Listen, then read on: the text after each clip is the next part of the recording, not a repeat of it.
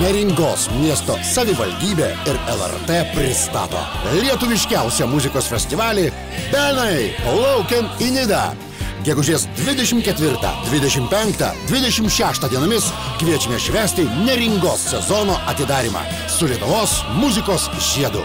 Nei vienos minutės nepasigailėsit. Bet jei pikstų arba gnyda, nevažiuok geriau į Nidą. Festivalio draugai - Radio stotis Lietus ir dienraštis Respublika. Organizatorius Zuzi Muzika.